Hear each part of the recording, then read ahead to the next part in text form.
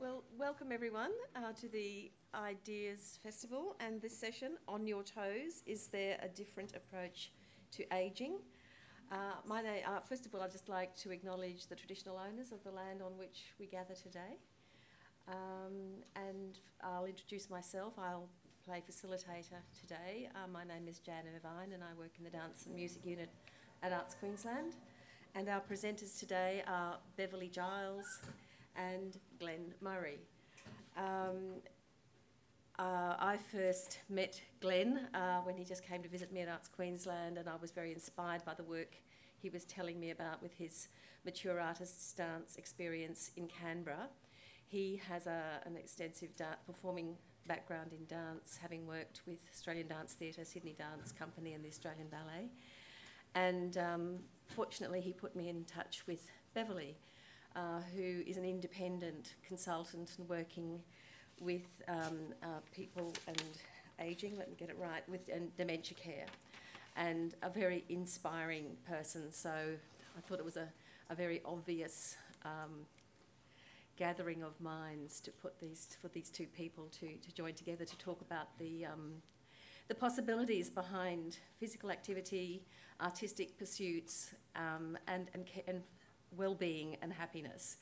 Uh, so I was very excited to, to meet these two inspiring people. And it being an ideas festival, I'm hoping that the next step after the idea is the action. And I think these two people are absolutely the right people to put things in place. Um, and I'll let you tell their, let you hear their story from their own mouths. And so I'll hand over, and I believe Beverley, you're going to go 1st And this session is being recorded, I believe, and I know that um, there is a roving mic. And if uh, um, uh, both Beverley and Glen would like this to be quite an interactive session and uh, allow you the opportunities to ask questions or make contributions. So please wait until you have a microphone uh, to facilitate the recording of this session. Uh, so thank you. Without further ado, Beverley. Thank you, Jan. It's um, a real, I'm just avoiding that light. It's a real pleasure. Sorry, Is that right? Oh, well, that has its advantages, actually. I'd rather be heard and not seen, but there you go. Um, well, it is in the light, isn't it? Um, Glen and I met, pardon me, Glen and I met at the first um, conference in Australia for arts, health and well-being, where the goal was to bring together health practitioners and arts practitioners. And Glen presented a session there I was inspired by what he had to say. And I asked him afterwards if he would come to where I live, which is on North Stradbroke Island, and do a workshop. And to my great pleasure, Glen said yes. He had an idea of his island, Tasmania, and my island, Stradbroke. And he came to the island, he did a workshop. He's coming again on the 4th of July, 4th of June, sorry, 4th of June, and doing another workshop on, on Straddy, and we're really looking forward to that. So, um, this presentation is where Glen and I hope to show you what it is we have in common and how we have been able to help each other. Um, for me to have a greater idea of what's involved um, in the actual practice of the arts, and for Glen to learn about my passion, which is how the brain works and what we can do to take control of our lives and look at ageing in a positive way because there are so many negative stereotypes about ageing, and if you latch onto those, then it's all downhill.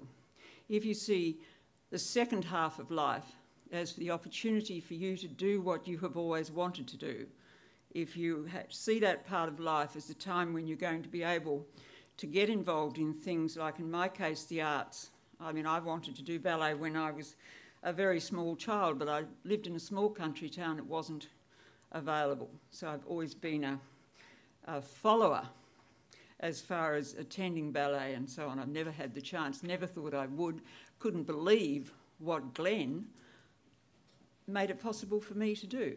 So he'll uh, be talking to you about how he's done that for a lot of people like me in the second half of their lives. And I hope I'll be able to say to you take a stand as far as ageing is concerned. Tell your brain that you're not going to go gently into that last good night. You're going to rage against it and you're going to do all sorts of things. So I've been talking about what you need to do as far as the brain's concerned. And then Glen is going to tell you what he is actually doing so that the group of people that he works with are doing this now and he's seeing some wonderful results. So um, we'll, um, start. We'll yes. start. okay. Um, on your toes, um, is there a different approach to ageing? And there is a different approach to ageing. And Glen's going to give us an example of how you can dance your way to better mental, social, psychological, physical health. Um, and there are other ways that we can get involved in the arts that will also lead to those sorts of outcomes. Um, now we see whether our, our little gadgets work, and this one apparently isn't going to, so um, we've been having the odd problem with, uh, with, with equipment, um, which won't be any, any surprise to a lot of you.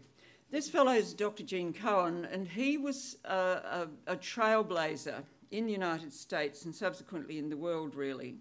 In 1975, he was appointed director of a brand new institute for mental health and ageing, where they started to sort of resist the passive idea that ageing is all about problems and start seeing ageing in a completely different light.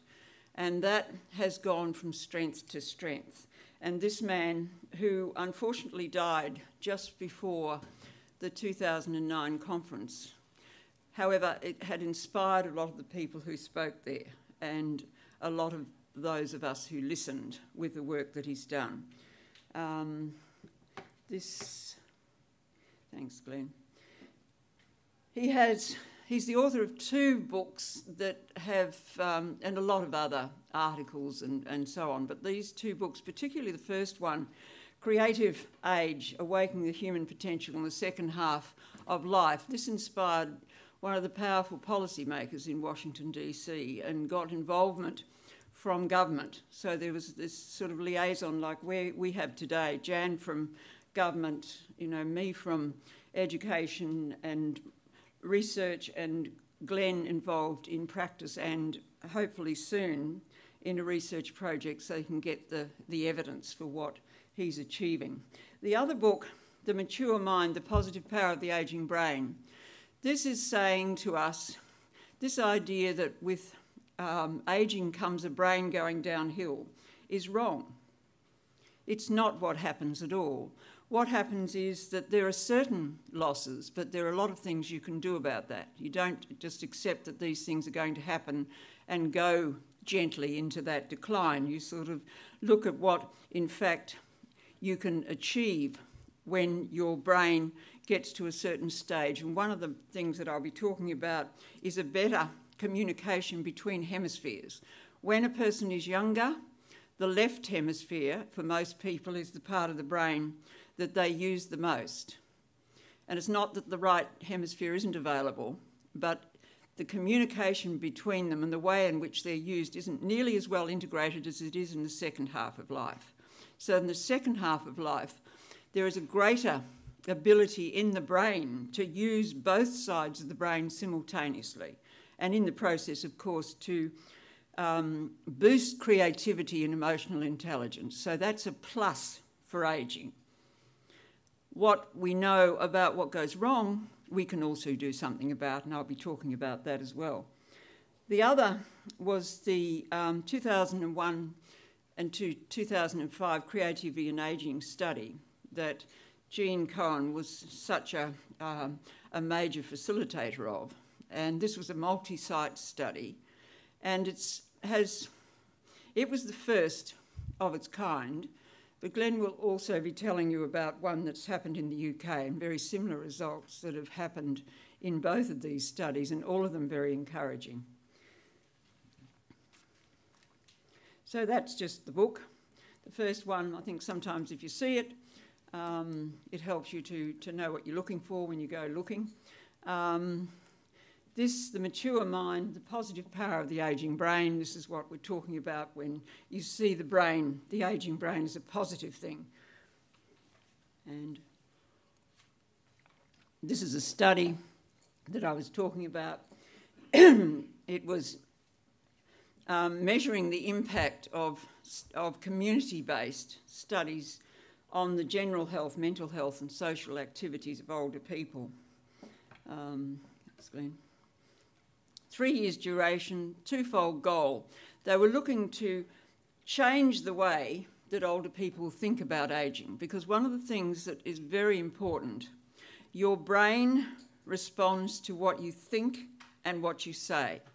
If you think it's all downhill, if you think that it's all about problems, then that's how it's going to be. But if you take a positive attitude, and this is where the arts and creativity in general, the creation of new things, is helping people to be able to take a more positive view and to achieve more than they ever imagined that they would. The other thing is the way older people are treated. Um, we are a youth and sports orientated society in many ways, particularly in the media, and older people are often patronised.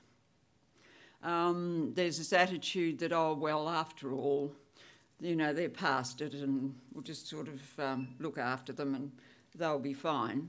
And activities that people are involved in, sometimes there's a patronising attitude to those sorts of things. Um, and we can change that by the way we present ourselves. If you think of yourself as somebody who is coming to the end of your life and it's all going to get harder and it's all going to get difficult, you're bored with yourself, so everybody else is obviously going to be bored with you too. It's, um, you know, nobody wants to hear about anybody else's problems, they've got enough of their own. But if somebody says, aha, this happened and I did this and I achieved that, aha, then we think, what's in it for me? Maybe with this happening to me, I can do something about it too. He made that there were two indicators that were really important that were measured the sense of mastery and control, learning something new and the ripple effect, leading to increased confidence to try other things. And this is something that Glen has very definitely experienced with the women involved in his program in, uh, in Tasmania. And you might like to uh, comment on that here, Glen, would you? Sure, sure. Um, when when uh, there's a study that's come out of the UK that is showing that dance um, is a form of exercise that engages people more than any other form of exercise for a number of reasons.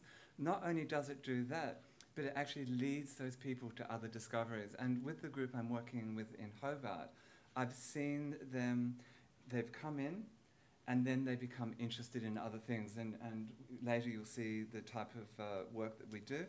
And through that, they're making discoveries, they're becoming inquiring, uh, they're undertaking research, they're investigating other kinds of activities. So it, it, it's, it's a beginning point, it's not an end. As um, Beverley's saying, it just continues to flow on. I don't know what that is. I hope I've got to turn mine off so it's not my sound, fortunately. Hopefully, it won't ring. Social engagement. We are by nature social beings. And we need a social context for what we do. And this is where um, it's very obvious to me when Glen talks about the program in Hobart and when he talks about the various things that he's been doing in the time that he's been working with the women engaged in that program, there's, there is a, a, definitely a social context. There are definite relationships that are built, and these relationships are vitally important. People need these kinds of connections to try new things, to enjoy what they're doing, to talk about what they're doing, and then do other things together. So it has a tremendous benefit as far as widening the social circle that people have, widening the relationships they have, and all of these things are extraordinarily good for the brain. The two questions were asked Did you make new friends? Did you learn something new? Now, Glen, you might like to comment on, on how that applies with MADE. What I'm seeing in MADE um, is that it's actually forming a society of its own, and it is a, a society based on support. Um, I'm working with a demographic uh, mature-aged women, so we have an entry level of age 50 upwards. So most of the women are mid 50s, mid 60s, um, they're independent, their, their uh, experience is changing, they're exiting the workforce, they're um, having long-term relationships break down, they're having children leave home. So they're in a state of flux. And what this project, this creative project is offering those women, it offers them a support network. And, and I see the relationships building and, and if someone is ill, I see the mechanisms of care go into place. And, and if someone is distressed for whatever reasons, I see all those sort of mechanisms. So we have a, a project which is based on an artistic ideal, but it's fulfilling these very beautiful, essential, um, these uh, you know other uh, needs that are experienced by these people. And the, the, the criteria um, that were established for measuring these projects and for the successful projects were very much about they needed to be conducted by a professional artist. And Glen, of course, was at the very top of his profession and he's maintained that. Um, sometimes I think things happen and there's a, a sort of attitude, and that'll do attitude. Um, that's so far from what I've seen as far as MADE's concerned. Um, it's all happening at a high level. Um, and that's possible because of Glen's, um, not only because of his experience and ability, but also because of his attitude, his really deep and abiding respect for the people involved in his program. And that's something that has come across to me very strongly from the beginning. And it's meant a great deal to see somebody having such high ideals for people in this stage of their lives and with the participants that are involved. Um, the program needs to be evaluated, and there's an ongoing element of evaluation in MADE. And the program has to be sustained for three years. Well, Glen's program started in 2005, so we are now in the sixth year, and it's gone from strength to strength. And I think um, Janice was sharing some ideas that she's she's evolving at the moment about how much higher it can go and how much more and how much wider um, it can be spread. Um, the studies that uh, Gene Cohen did with 3,000 older um, adults identified four distinct phases, and I'm sort of going to concentrate on two of them. Midlife re-evaluation. Now, this is in contrast to a lot of people who talk about midlife crisis and an expectation that when a person gets to midlife, is going to be a crisis time. In his work, um, Gene Cohen found that only 10% of people talked about having a crisis in their lives. Many more of them looked at it being a time when they were involved in a quest, motivated by the desire to break new ground.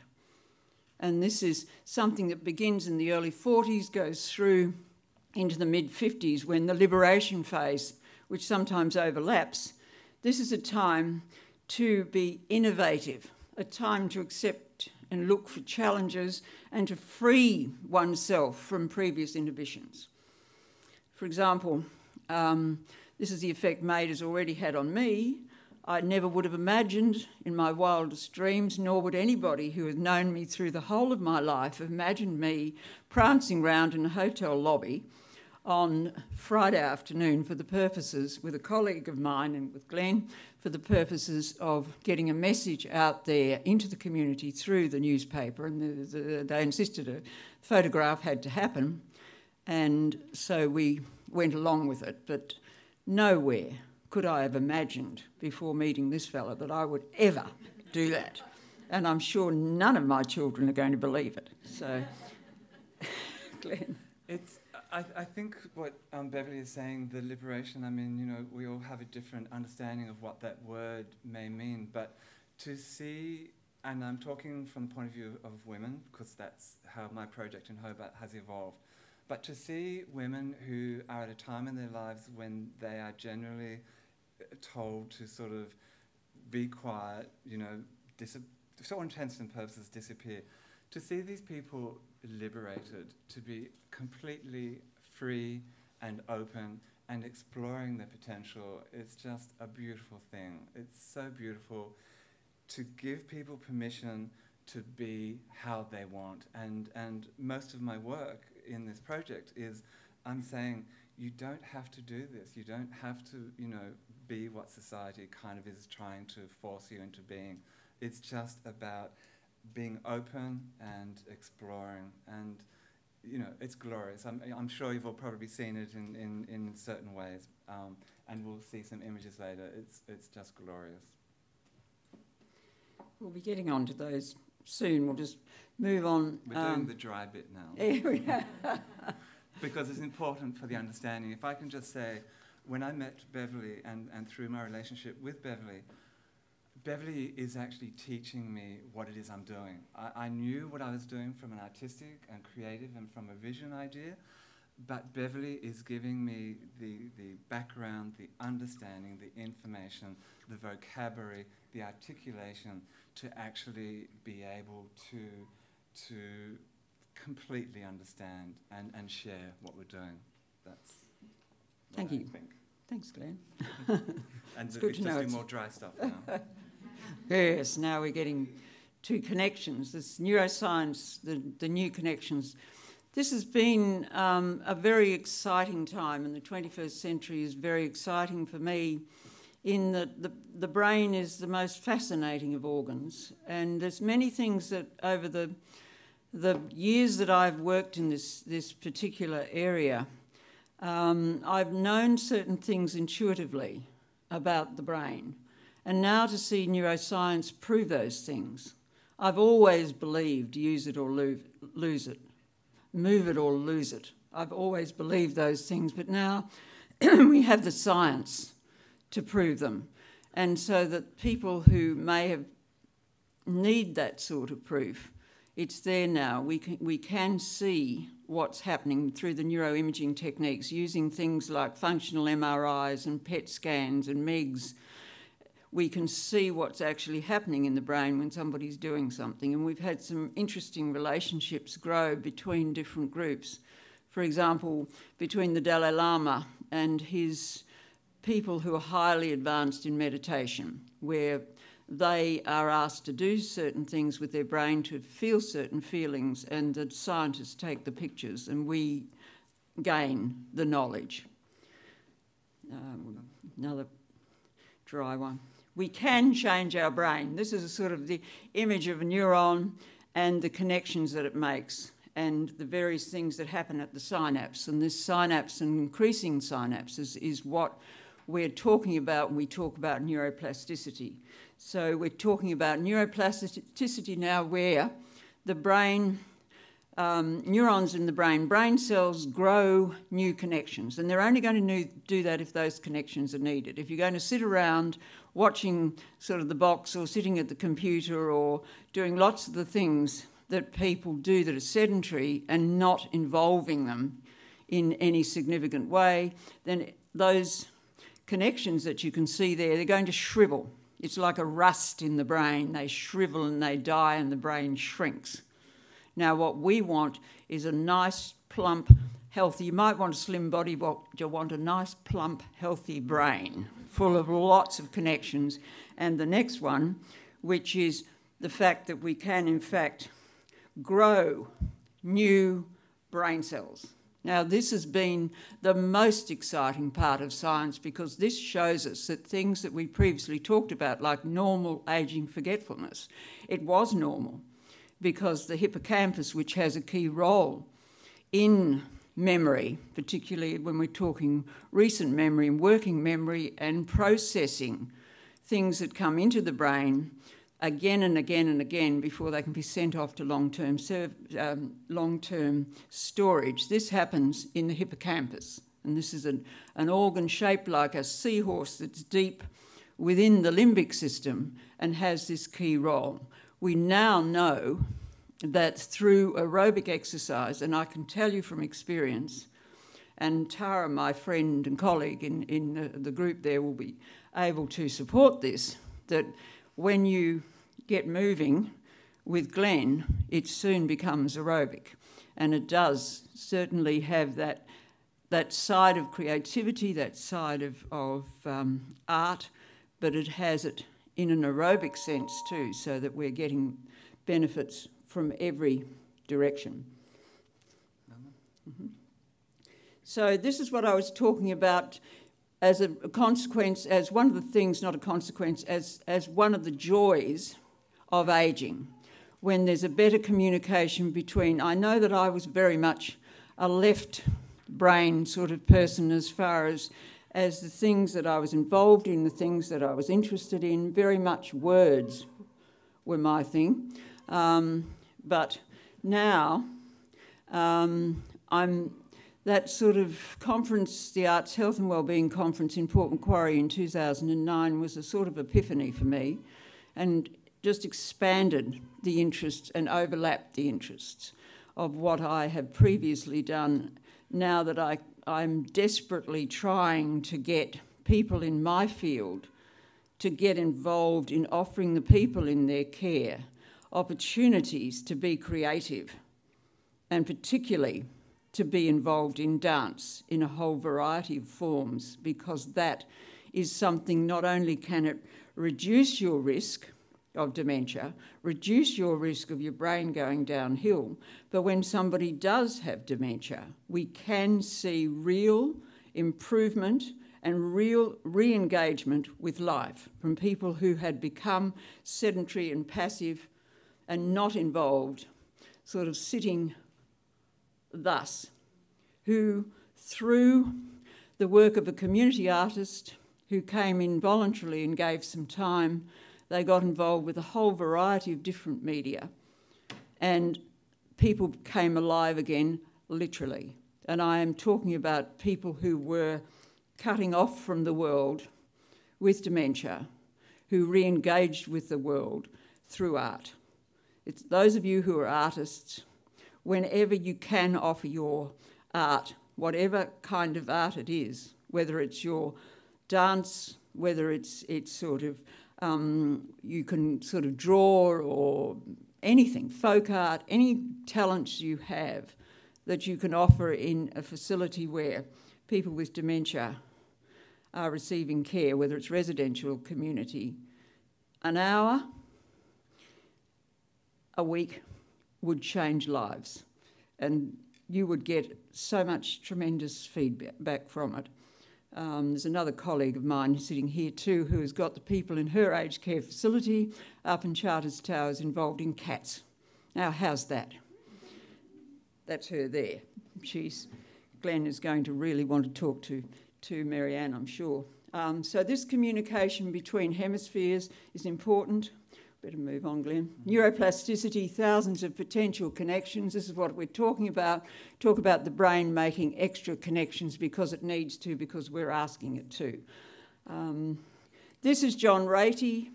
He's written a book called Spark, and I highly recommend that book to you because he talks about exercise and primarily how exercise can help in a whole lot of different ways. The ones that I'm going to be thinking about today um, dance, is at the very top of the tree. Gene Cohen picked that up quite early. John um, Ratey has certainly got lots of evidence to support that, and it's generally accepted. Um, the Alzheimer's Australia has just held their conference in Brisbane, and they are recognising, and speakers at that conference were recognising the fact that dance is at the very top of the tree because it's physical, physical, intellectual, and it involves social engagement. They're the three things the scientist identifies essential to a healthy brain. And then when you add, as MADE does, creativity, you get an extra boost to what is already a very strong mixture. So, um, this is the book. Thanks, Glen.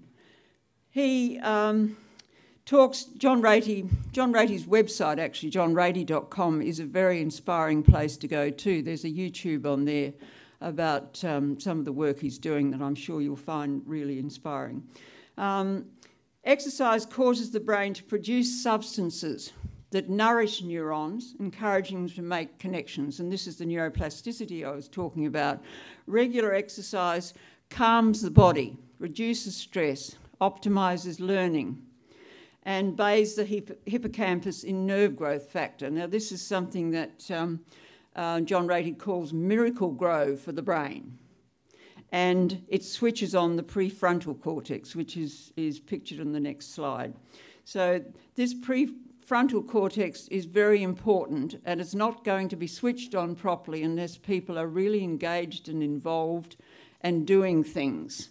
It produces some substances that are very important that you may have heard of serotonin. This reduces anxiety. This is the, the feel good um, substance, the neurotransmitter that makes people feel good. It's also important as far as, as resisting things that can happen, particularly if with ageing comes social isolation, as it so often does. People tend to more and more um, lock themselves in their in their houses if they're, they're suffering from anxiety disorders or depression or compulsive obsessive order. All of these are reduced by involvement in exercise. Dopamine, the learning, reward, satisfaction, attention, and movement transmitter. Now, this substance, um, you get it through exercise, and it's a lot cheaper than getting it through shopping. Um, norepinephrine, there's a lot of men in the audience looking relieved, and one I know well. Norepinephrine release increases alertness, concentration, and energy. So these substances are produced when people engage in aerobic exercise. Um, during exercise, specific proteins push through the blood brain barrier. Now, the blood brain barrier is there to protect the brain from harmful bacteria and from substances that will do it harm. These substances can get through. Um, they are listed there brain derived neurotrophic factor, which I've already mentioned as Miracle-Gro for the brain. Um, you've got IGF 1, which is, is um, a substance that enables insulin to do its job better. So, glucose, which provides energy, gets to the cells better. VEGF, that is in the brain for um, growing more capillaries. And then the final one, FGF, that is for healthier inside to your capillaries and also making brain cells grow. As Glen said, it's dry. The amygdala is the part of the brain that has a major role in um, emotions. So you start recording sensory and emotional experiences in your brain before you're even born. They continue to be um, important throughout your life as far as when people get older and some parts of their brain, as far as the neocortex are concerned, may not be working with quite the same speed as they did when they were younger, then parts of the brain, like the amygdala, draw on the senses to boost what the brain does better, and the hippocampus, which I've already mentioned. Glen. Now, this is, is um, something that, that Gene Cohen said, and it was supported by his colleague Susan Perlstein, who spoke at the conference Glen and I were at. And I think this is a thing about ageing. This is really what I was thinking when we were sort of moving in that hotel foyer um, because the photographer from the newspaper and, and, and, the journalist had to have a movement um, sort of photograph, which once would have scared me into the toilet for the rest of the for the duration until they'd left. But on this occasion, I really did think, what can they do to me? The people in this hotel foyer, I might, you know, they might see that I'm doing something odd. Um, as far as what you do in hotel foyers, well, what I've always done in hotel foyers, um, but what can they do to me? And it was a freeing thing. What we did actually have was about maybe half a dozen or so children who were in the foyer do, doing it with us. You know, they were participating. So helped. Yeah, and then, if not me, who? And if not now, when? And that's the thing. You think, well, if I, these things that I've been putting off, I'm thinking one day I'm gonna do this. If I don't do them now, when am I going to do them? And then we get to the final part of the brain, um, and that is the cerebellum. And by getting the cerebellum very much involved, which movement does, you're going to reduce the risk of falls, and falls are events in an older person's life that can utterly change that life. A fractured hip can really send a person on a downward spiral. So, being able to get people involved in things that's going to reduce that risk. And this is one thing I'm very aware of as far as MADE is concerned. And Glen, I'll hand over to Glen now um, to comment on that and then move on to his um, PowerPoints. So I'll change change Mm, places with you, Glen. Press the button. Ah, thanks. Um, a lot of what I'm going to sort of talk about now just reinforces, I think, um, what Beverley has said. But as I said, it's my relationship with Beverley that has led me to understand a, a lot of what is going on. I founded MADE in 2005 uh, in Hobart, that's where I live. Um, when I turned 40, I became invisible, and I suddenly saw all the other invisible people. And I became very interested in that experience. Um, so, I, I, as, as a former dancer, I wanted to use my vocabulary and my experience and my aesthetic to investigate what it is to be an older person, an adult in our society. Uh, this one, so that's. Yeah. Um, globally, we're an aging population, there's no doubt about that. But uh, many of the cultural activities in this country, in particular, I'm talking about Australia, seem to exclude older members of the community from active participation. Next one. Um, our, our cultural obsession with the youthful ideal has the potential to negate the valuable contribution older adults make to our cultural identity. And this contribution is through their talent, the application of their talent, skills, and experience. Um, was founded in 2005 to on there, to provide mature adults with dance and theatre skills development opportunities, provide them with highly aesthetic performance outcomes in non-traditional performance venues, and to offer audiences um, an alternative view of contemporary dance. We run uh, quite an extensive training program in Hobart. We offer um, movement classes, which is sort of a fusion of classical contemporary techniques, because that's my own history. Um, it it's been a process of evolution, and, it, and it's working for us in Hobart. We supplement that training with other uh, skill sets that are needed for the productions that we're working on. We have theatre skills, we have vocal training, we have um, fibre weaving we've done recently, and you'll see why a bit later.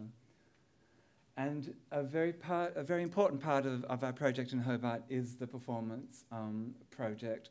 Um, a, a lot of the, the women who are attracted, and, and I keep saying women because in Hobart it is just women, no men have come forward. Um, we're developing a brand based on that fact that it is women, and there's something very beautiful about these older women in a performance context that I'm really working to protect um, because there's just something so glorious about it. Um, health and well-being benefits of dance. Um, let's push on so I know what it is. Sorry. It'll come. Next one. Yeah. Um, the, the benefits have not really been evaluated in this country. Um, the, but the success of MADE, and we are successful, our profile is growing, our support base is growing, um, and the number of like-minded groups emerging around the country. I was in Ad, uh, Canberra just recently to see a new group starting there. I had a visit from a lady from Adelaide who wants to start a group there. So there's a, there's a really kind of bubbling energy of, of people who have heard about or come themselves to a discovery that this is what they want. They want to be creatively engaged at this time in their life.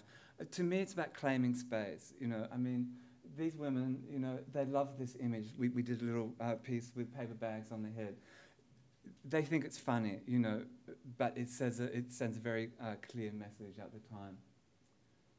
So, you know, all, all this stuff um, will uh, offer opportunity for evaluation in this country. It's on its way. It's going to happen.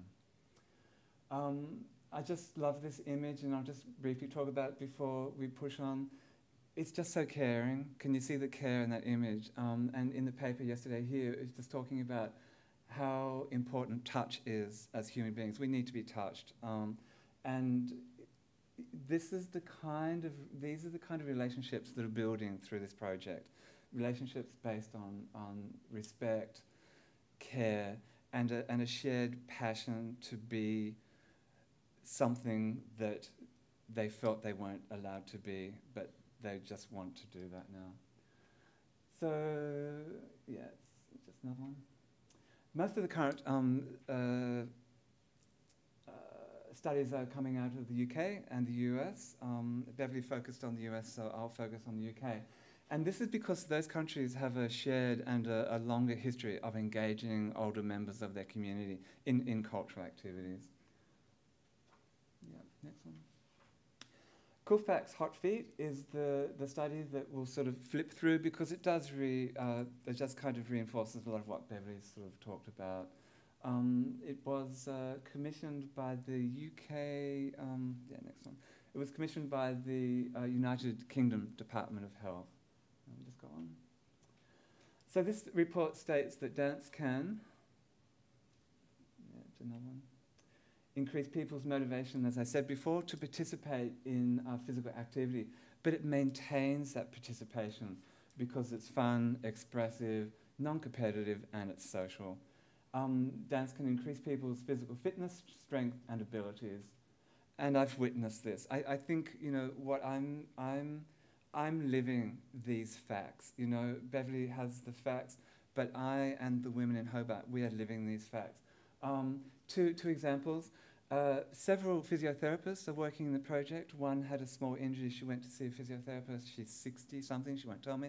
And, um, and, and the, the physio said to her, What are you doing? Your muscles are so strong. And she said, Oh, I do dance, you know.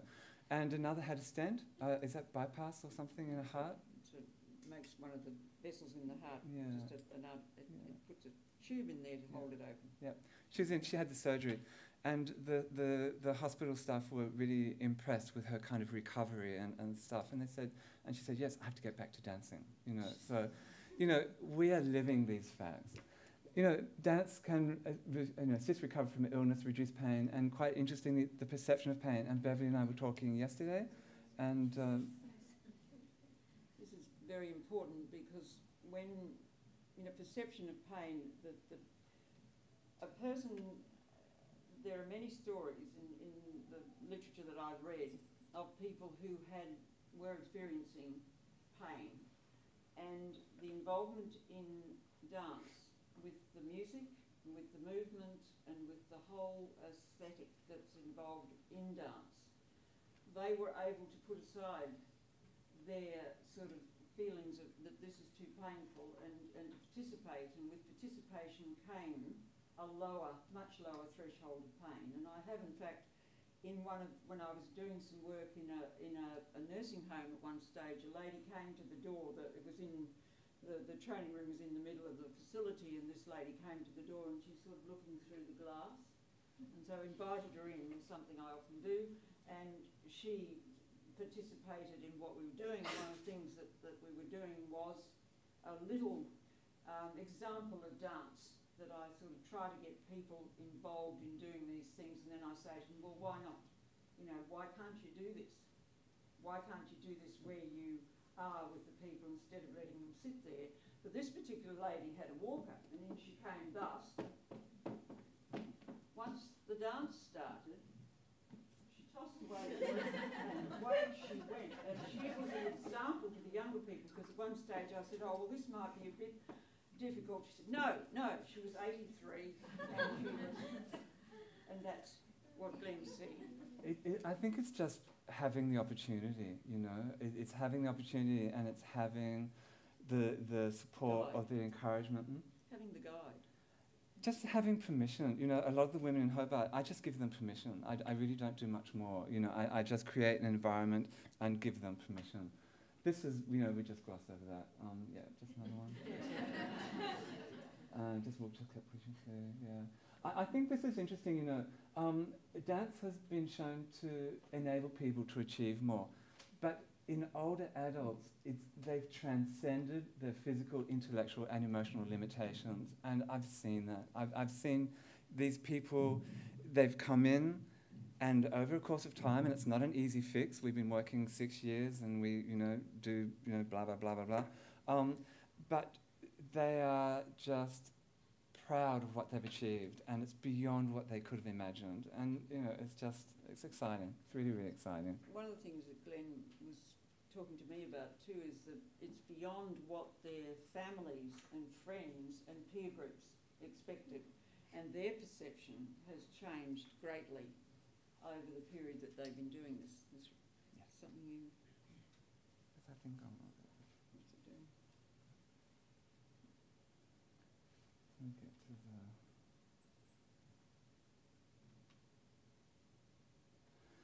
Um, in the in the beginning of MADE, um, a lot of the participants actually had to fight a number of demons to participate, and and a lot of that was their families and partners saying, "Don't make a fool of yourself. Don't be stupid. Stay home. Get my dinner ready. What are you doing, mum? You know all this sort of stuff." Each of them has had to battle certain situations. Um, they've come to the project because they have their own needs.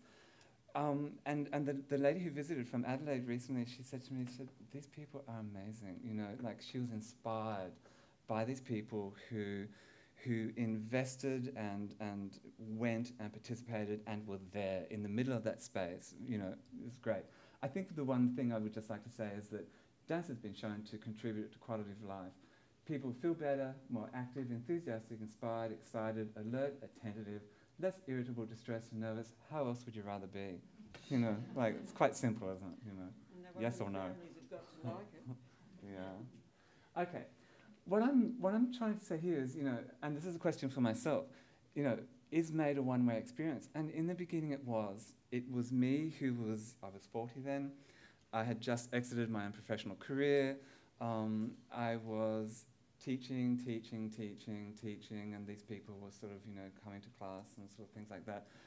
But then I meet Beverley, and and and I start to understand what is sort of happening, and. Um, and this project is, is flying both ways. You know, these people, they give up their time, they come, we meet in the studio, um, they're getting better, so I have to look at my own personal development to stay one step ahead of them. Um, I'm experiencing opportunities, I get to be here today and, and you know, talk to you, and, and um, we, uh, all of the other professional artists that come in and work with the group in Hobart are excited and learn from them. You know, it, it's, it's a two-way kind of revolution. It's a revolution. It is a revolution. Yeah, yeah.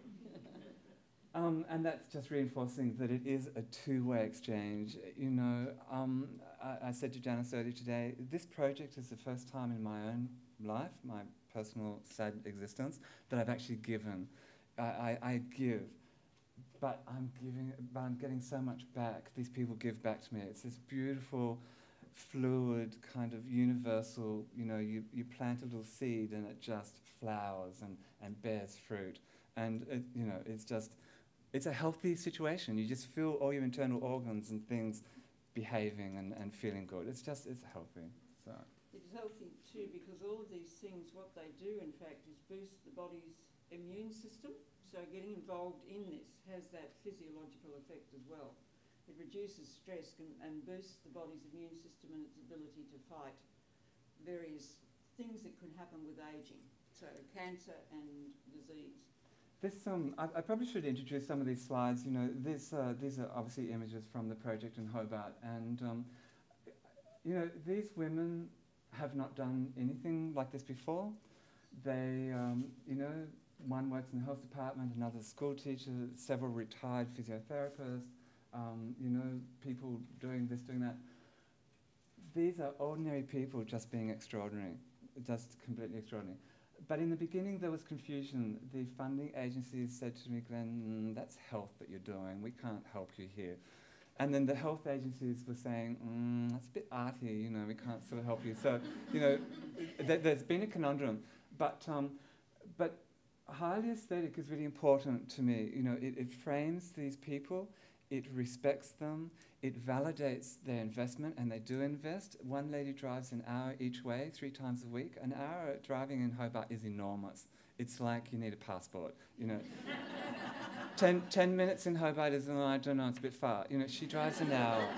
Um, so they invest, and so it needs to be, I- I need to create very beautiful environments to put these people in. This, just briefly, is a project we're working on this year called Birds.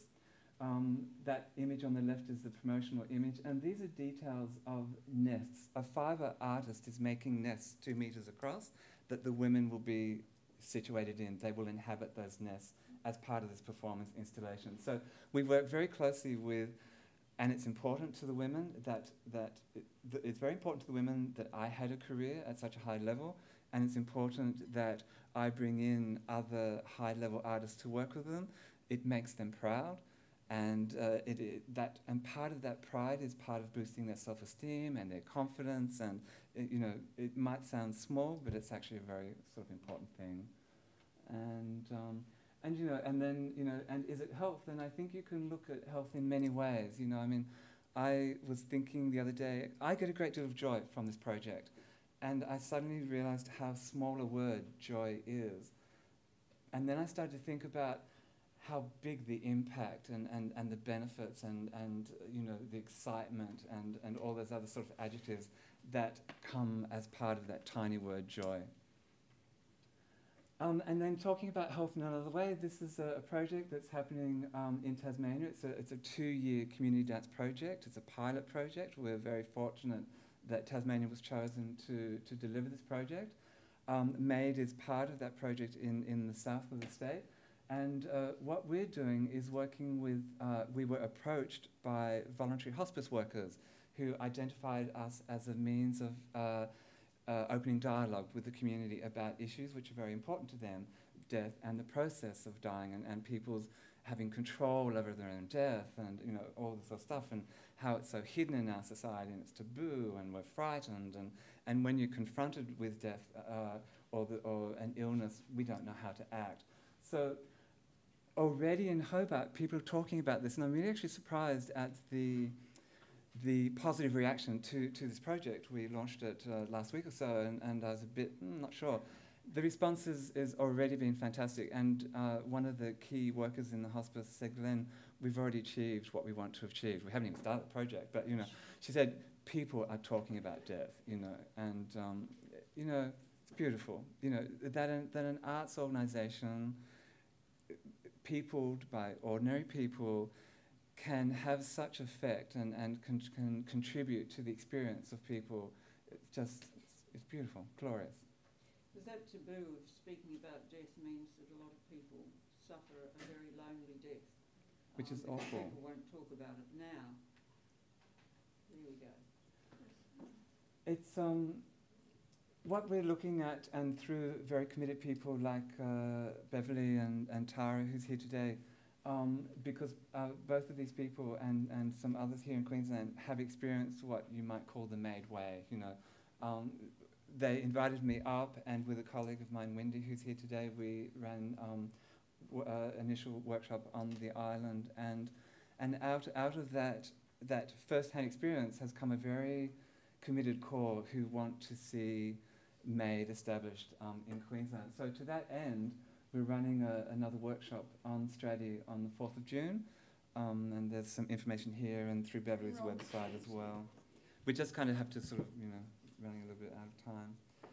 So I just would like to say some thank yous because it's very important to say thank you. I'd really like to thank you for coming today because you hear and, and then you tell people and the word gets out and um, and then you might contact me with advice or support or something, you know. Um, certainly, I'd like to thank Arts Queensland, particularly Janice Irvine. It's because of Janice that we are here today. Janice believes in, in this project. Um, and MADE in Queensland, Beverley, Mariana, and Shona, and Tara, and, um, and the Maidens. Um, it's, it's, you know, it's because of them that, that I'm happy and joyous and excited and have so much to look forward to. And um, what else can I say? Thank you. So, do we do questions or something? Or?